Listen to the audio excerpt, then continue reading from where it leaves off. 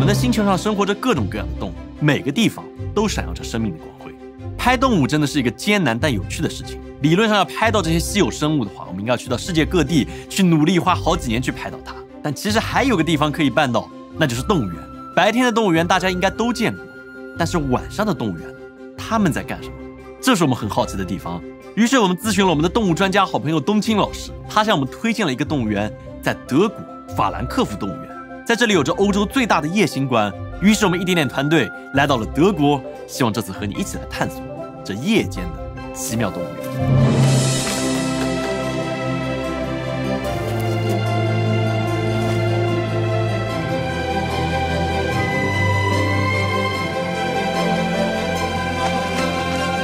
哦哦哦，腿好短。我们现在在馆里面根本什么都看不清楚，但是我们用了一个红外的补光灯，就非常微弱的夜光，这样的话我们人眼其实看不见的，对动物的话也不会有什么影响，哦这个是因为它们也看不见。但是这个灯光的话能被我们的摄像机在特殊的科目中捕捉到。当我们在黑暗中用上红外的补光灯之后，即便我们的肉眼还是什么都看不见，但是借着这台特殊的相机，我们也成功的看清了这个神秘的黑暗世界。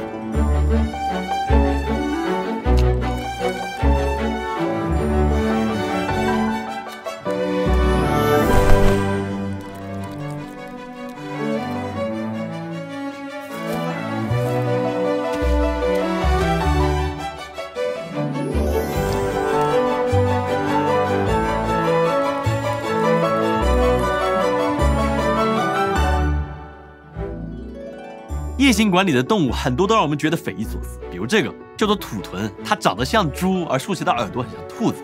它吃东西主要靠长长的舌头去舔。而这个叫做针鼹，长得和刺猬还是挺像的，却有着非常特别的生殖方式。它们是哺乳动物，但是却通过生蛋的方式来产生后代。那地球上另外一种类似的动物就是鸭嘴兽，我们也很熟悉。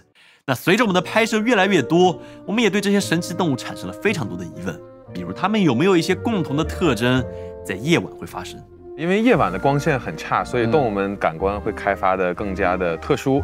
比如说，很多动物的眼睛会变得更大，瞳这样的话就可以让瞳孔也变得更大。就相当于是大光圈有更大进光量。对对对哦，然后再一个可能就是耳朵，它们的耳朵耳廓会变得也会变得更大，来接收四面八方的声音讯号。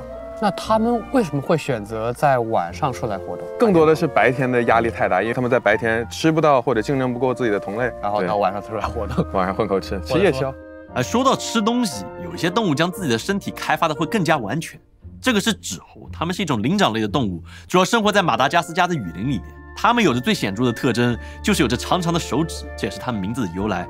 这些长手指可以用来抠树洞里的虫子吃。那饲养员特意把食物塞到了这个打了洞的树干里边，供它们来享用。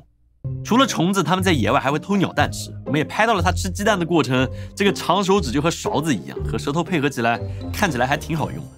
而随着持续几天的拍摄，他们好像也熟悉了我们。从一开始在树枝上荡来荡去，老是躲着我们，到后来会主动靠近镜头来观察我们这群玻璃外的大猴子，也向我们炫耀起了这个长手指的各种用途。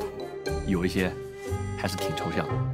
对就我们看到他那个长的手指就对抠自己的屁股，然后抠鼻子，从这个鼻啊孔这样、这样插进去。一开始我第一次看到这种行为的时候，我想这不都到脑子里了吗？对对但其实他们是往下拐的，他们是往喉咙里那个位置伸，然后他们会整个就做成一个一系列的这个疏通，这可能是一种排解压力的行为，因为正常的手指粗度有限，你深入的地方有限，但他们可以直接有时间伸到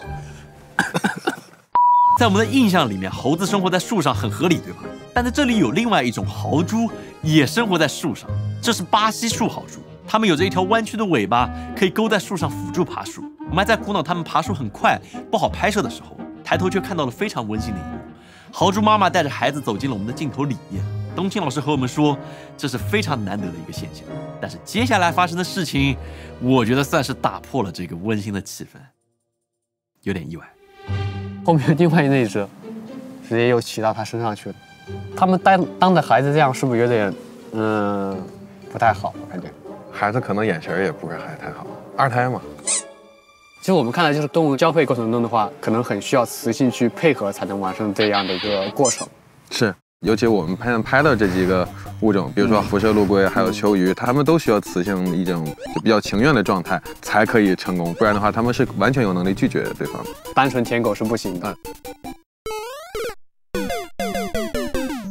嗯，太惨了。在黑暗中生活，除了被动适应之外，有一些生物更会开发出一些主动的技能。比如说蝙蝠，这边有个场馆，特意造了一个溶洞的环境，透过橱窗看进去，洞壁上有悬挂着钟乳石，里面还有一条人工的河流，真的很像野外的洞穴。而这里面生活着一种特殊的蝙蝠——塞巴短尾蝠，而它们的长相和普通蝙蝠也非常不一样。它有一个很扁、很突出的一个鼻翼，它像薄薄的一层膜。那层膜就可以用来接收它自己的超声波。声波，对，它们的鼻子有点像耳朵的作用。依靠灵敏的主动雷达，蝙蝠可以在完全黑暗的环境下飞行，而且在飞行的过程中不会碰到墙壁和其他的蝙蝠。飞累了之后，这些蝙蝠会用一只脚把自己挂在石头上。那冬青老师和我们说，他们这样倒挂除了可以挠痒，还可以做一切的事情，包括吃喝拉撒睡，甚至是交配也可以倒立着来。交配我们这次没有拍到，但是我们拍到了非常充足的它们排泄的过程。尿尿了啊！对，这样倒挂的它不会尿到自己身上吗？对吧？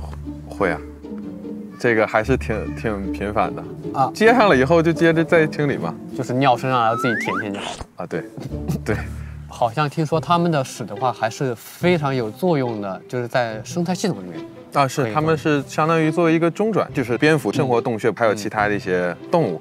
那这些动物它们很难去外面获取能量，蝙蝠就是一个很好的携带者，会把食物吃完，食物啊变成食物，然后掉下来就可以成为，就是它们是大自然的搬运工。搬运工对。而在另一个缸里面，我们也拍到了生活在洞穴水下的盲鱼，这些被蝙蝠一把屎一把尿喂大的生物，视觉也基本上退化了，每天就在水里面游着，全靠上天的供养，看它钓什么就吃什么。这种感觉其实还是挺奇妙的。就在这里，我们可能拍到了一个完整的、不为熟知的洞穴生态系统。在整个夜行馆里面，我觉得最奇怪的动物应该是这个这个裸鼹鼠。别的动物都在拼命的卷，努力强化自己的视觉或者听觉来适应黑暗，能够生存。但它可能是卷不动了，直接选择躺平，钻到了地下去生活。不需要见人之后，它的外形就会长得非常的奔放。我感觉这个东西就很丑。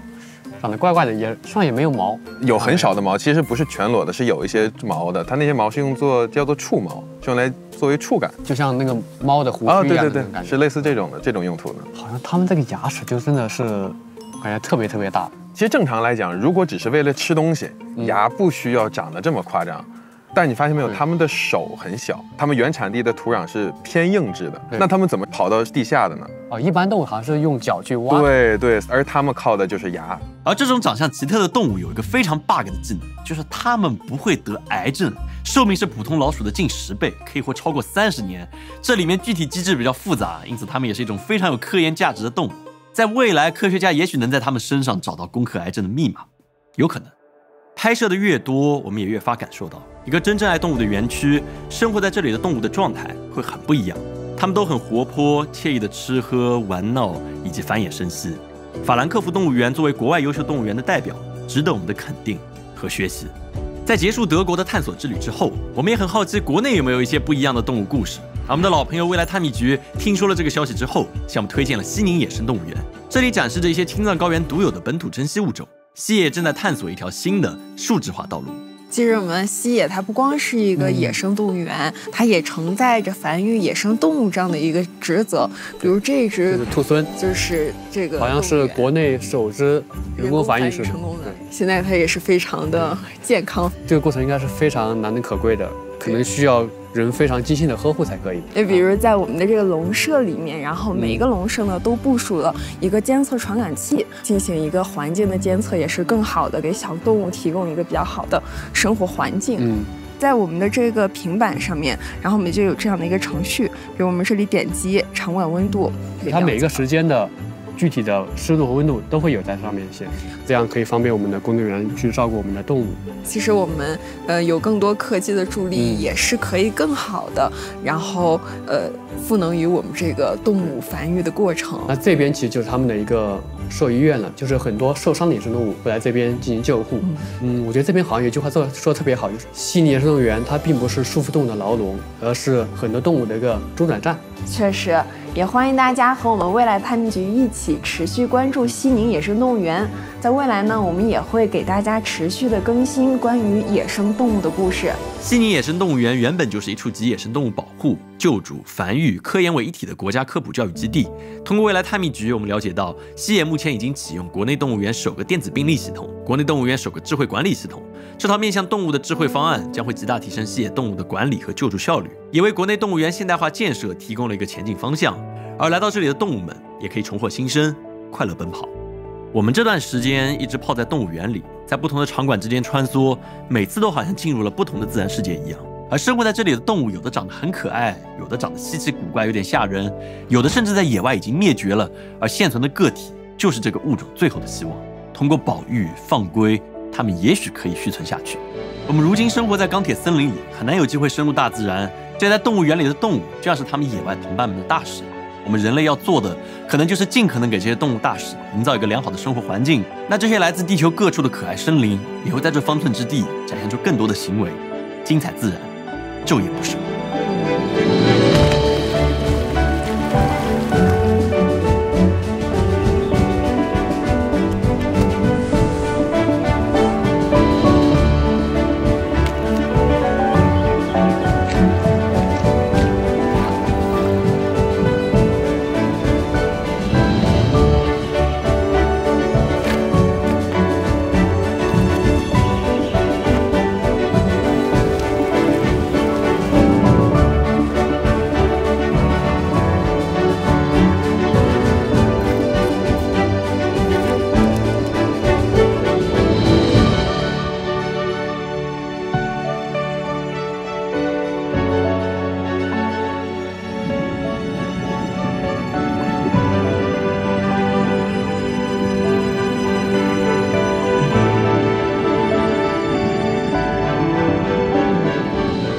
感谢未来探秘局对我们节目的大力支持，以科技助力现代动物园的建设，连通自然，未来有无限想象。